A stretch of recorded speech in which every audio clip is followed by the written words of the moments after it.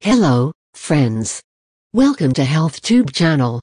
Today we are going to watch treatment for bed bug bites and how to get rid of bed bug bites and how to get rid of bed bug bites overnight.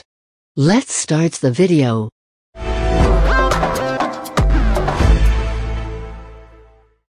Bed bugs are the brown-colored, oval-shaped insects which are of the size of apple seeds and move very fast.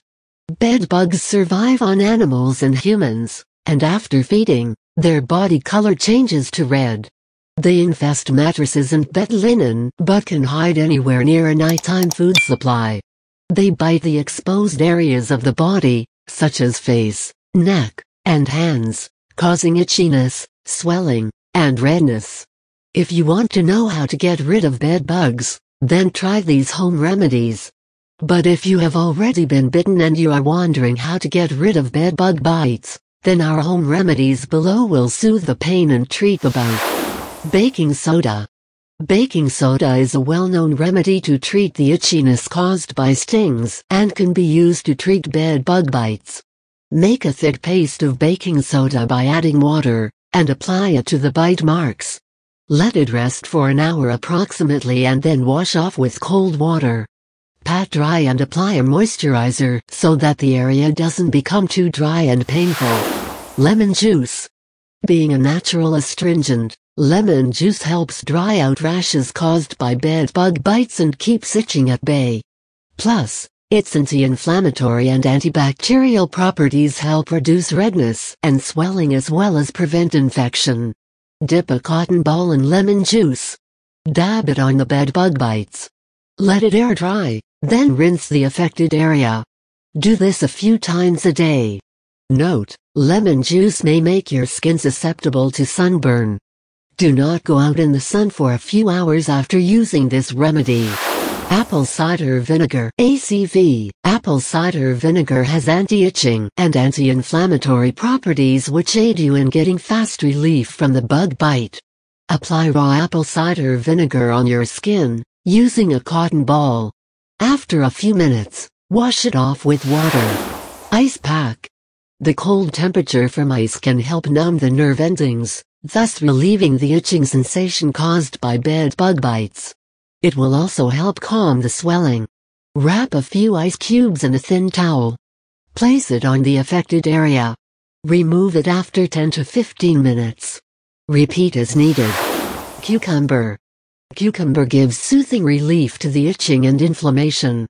Take a chilled cucumber slice or its peel and put it on the affected area for about 10 minutes.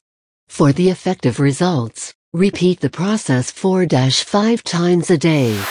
Toothpaste. Toothpaste is another effective remedy for bed bug bites. It contains cooling menthol that helps reduce the itching and burning sensations. Make sure you use white toothpaste not a gel version, for this purpose. Dab a little white toothpaste on the affected area. Leave it on for 10 minutes, then rinse it off. Repeat as needed. Tea bags. Moist tea bags can also help combat the itching and swelling caused by bed bug and other insect bites.